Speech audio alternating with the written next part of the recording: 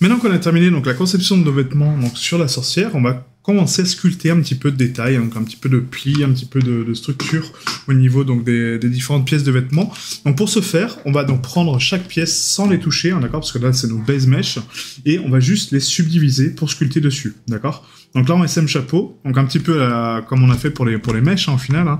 On va faire un contrôle D, donc une fois, deux fois, trois fois, d'accord? Et là on va donc jouer un peu avec le clay build, le dame standard pour bah, structurer un petit peu nos éléments. Donc là, on va définir un petit peu donc, le contour du chapeau. Donc de façon propre. Hein. Hop, voilà. Un petit peu de structure de la tête. On lisse un peu hein, le détail. Voilà. Et on donne juste un peu de crease et de curve hein, un petit peu partout pour structurer nos éléments. Donc là, pareil, on va faire donc un peu des plis. Donc ici, hop. Voilà. On peut augmenter un petit peu donc, la structure du pli ici. Voilà, là un deuxième. Voilà, hop.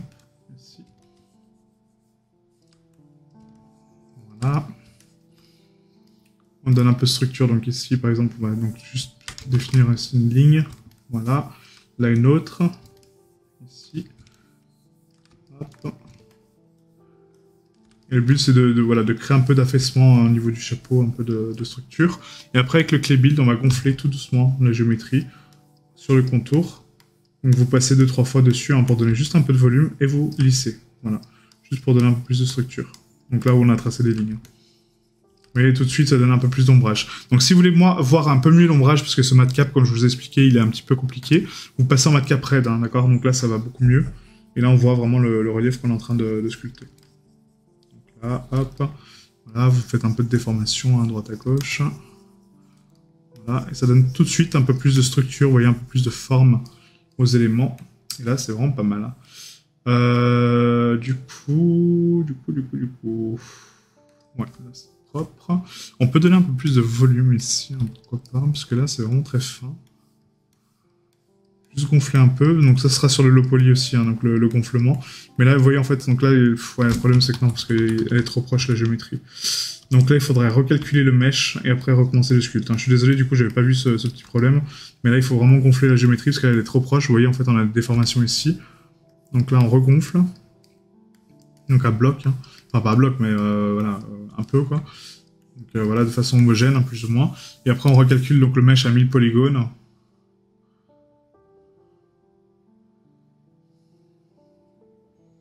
Comme ça, ça va corriger cette déformation. Voilà, là on voit en fait on a encore un, un ici, donc on lisse, on recalcule, on lisse, on lisse un peu, voilà, on recalcule. Et on lisse un peu. Voilà.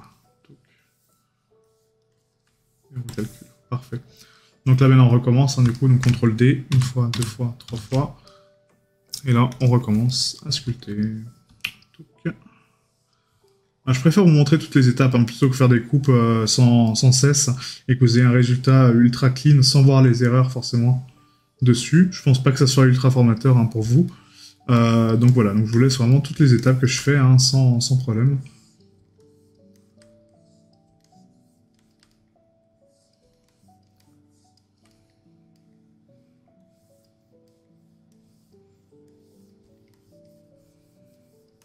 Donc là, le but, c'est de glisser un peu, donner un peu de matière hein, avec les build. Voilà, hop.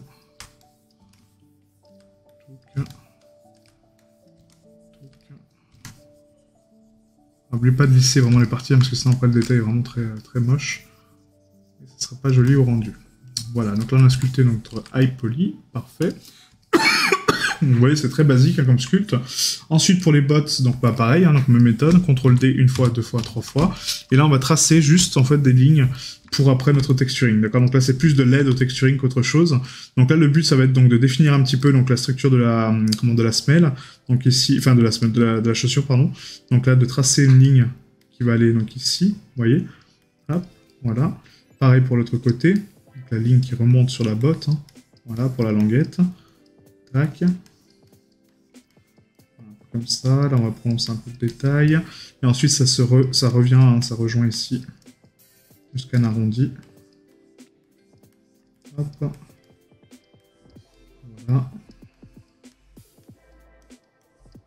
définir un peu donc la sole de la, de la botte. Donc là, vous cliquez ici, vous faites un clic et shift, d'accord, pour bloquer avec le trait, hein, donc shift, et vous tracez votre trait. Donc, voilà. Pareil ici, donc shift, on trace, on tourne, shift, shift, on trace, paf, voilà, et à l'arrière, shift, on trace. Donc là, ça veut pas, on va faire manuellement. Tac, comme ceci. Voilà.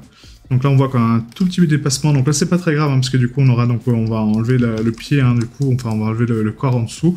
Donc c'est pas très grave ça. Hein. Après, vous pouvez lisser. Donc comme je vous ai dit, je, je, vous ai pas montré du coup, mais c'est euh, maintenant qu'on a la, haute résolution, on peut passer un petit coup avec le high polish pour euh, bah, justement tronquer un petit peu ces valeurs là, vous voyez. Donc là, les, euh, redéfinir un petit peu en termes de, structure et du coup les adoucir. Sauf que moi je préfère vraiment les semer rondes, donc je vais laisser comme ça. D'accord? C'était pour vous montrer un petit peu la technique. Donc là c'est propre. Et voilà, je pense que c'est pas mal au niveau du détail. On peut subdiviser davantage un CTRL D, juste pour relisser un petit peu donc la, les zones. Voilà. Juste redéfinir un petit peu les courbes de façon un peu plus propre, hein, parce que c'est vraiment pas, pas super.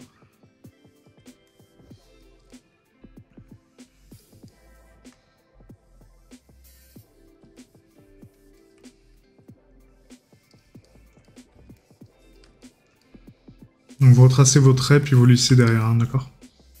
Ça donne juste un peu plus de structure au niveau de la semelle. Et pareil pour les courbes ici, du coup, il faut vraiment les, faire propres. Là, tac. On relisse en derrière. Voilà, c'est juste pour démarquer un peu le détail. On, va, pouvoir jouer avec la bump sur, sur substance pour euh, donner un peu plus de relief dessus. Donc c'est pas gênant quoi. Voilà. Hop, donc là c'est pas mal. Et après, pourquoi pas faire des stries hein, dessus. Mais ça c'est vraiment sur votre choix. Donc tracer des traits comme ça, pour donner un peu plus de volume. Euh, voilà, ça c'est vraiment à vous de voir. Ou même tracer le contour ici de la botte, hein, comme ça, tac. Donc euh, voilà. Comme ça je vous laisse faire euh, de l'autre côté. Pour ma part, ça me convient très bien comme ça. Il y a juste ici donc cette remontée qui me va pas du tout. Donc là, on va prendre le, le move topologie. On va donc la rabattre un petit peu. Voilà, et la redresser tranquillement. Voilà. Parfait. Donc maintenant qu'on a ça, donc on va passer au manteau. Donc le manteau, en fait, le but du manteau, ça va être juste de tracer les lignes de, couture pour nous aider au texturing, encore une fois.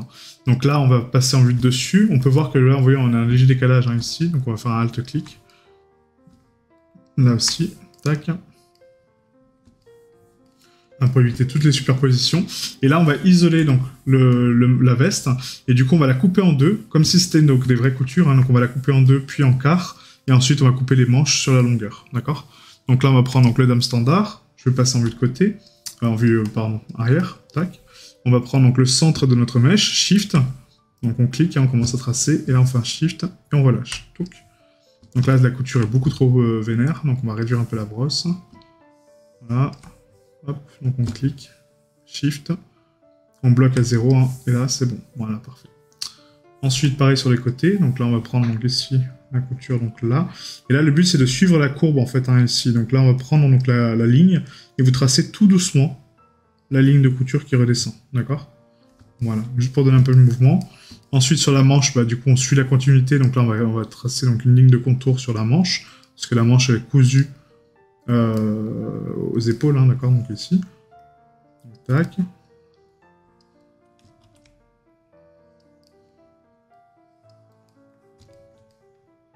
Donc là, on fait bien attention hein, au, rond qu'on est en train de tracer, hein, pour que ça soit euh, homogène. Donc là, ça ne l'est pas du tout. Donc on va redescendre ici.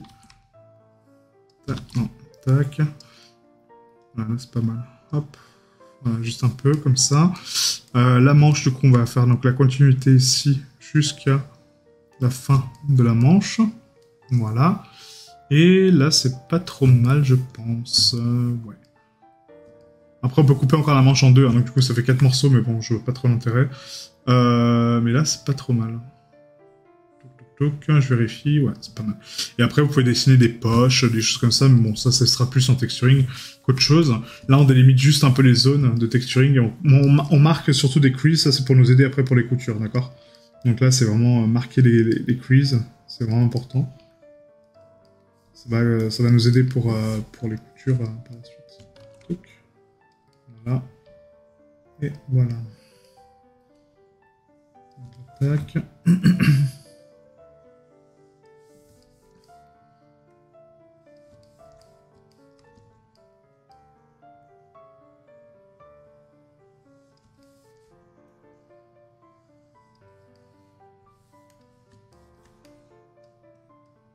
Voilà, l'arrière il est propre, hein, franchement c'est nickel. Voilà, propre. Ensuite, euh, on va passer donc au pantalon. Donc le pantalon, il n'y a pas grand chose à faire au niveau de, du détail, hein, parce que c'est un legging. Euh, ouais, non, je vois pas trop le, truc en fait. Il n'y a pas de détail sur un legging en fait. Hein. Du coup, euh, là, ça sert à rien de subdiviser en fait. On va effacer les niveaux supérieurs de subdivision, on va laisser comme ça. Le t-shirt, pareil, il n'y a pas grand chose à faire, hein, à part si vous voulez préciser les coutures, mais je vois pas trop l'intérêt non plus. Et là, je pense qu'on est pas trop mal. Du coup, on a bien le SM Core, le chapeau, etc. Ok. Donc là, ce qu'on va faire maintenant, c'est qu'on va exporter donc notre mèche. On va la porter sur Blender pour euh, maintenant créer nos cheveux et nos accessoires. Donc la ceinture, euh, pourquoi pas d'autres petites choses, euh, on verra. Mais en tout cas, voilà, on va essayer de rester sur du simple, hein, parce que comme je dis, j'ai encore pas mal de personnages à faire, et c'est pas le but de cette série. C'est juste de voilà, de créer des, personnages simples efficaces, et ensuite qu'on puisse les, importer sur sur les softs. Donc on va exporter notre low poly, mais avant ça, on a la partie optimisation justement qui va nous permettre donc de comment d'enlever donc certaines parties du corps, d'accord? Donc du coup pour optimiser notre personnage. Et ensuite on passera donc au dépliage UV de ces parties en question, le dépliage UV des vêtements qu'on va essayer donc de regrouper après une fois, donc on va optimiser sur Blender, et ensuite la conception des accessoires.